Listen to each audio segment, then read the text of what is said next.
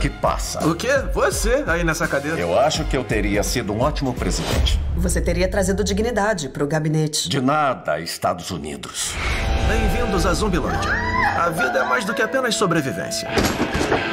A gente era uma família. Disfuncional, claro. Mas que família não é? Feliz Natal! O que você quer, garotinha? Eu quero muito que você pare de me chamar de garotinho. Sabe o que, é que eu quero? Eu caguei pro que você quer. Foi tão bom sair por aí de novo.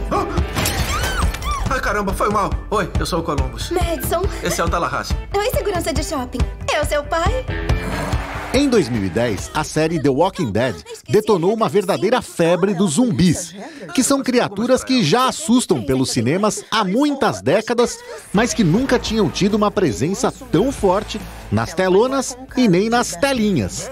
Mas Zumbilândia, o primeiro, veio no ano anterior, só que com uma pegada diferente, mais cômica.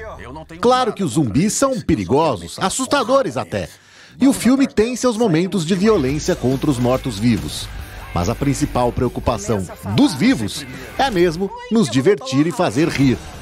Dez anos depois, o Quarteto Central está de volta, com a sensacional Emma Stone, uma das melhores atrizes do momento, os ótimos Woody Harrelson e Abigail Breslin e o fraco Jesse Eisenberg. Promessa de alguns sustos e muitas risadas. Você parou em duas vagas. Ou melhor, atravessado. Tomara que não multem a gente. O que que tá rolando aqui? O quê?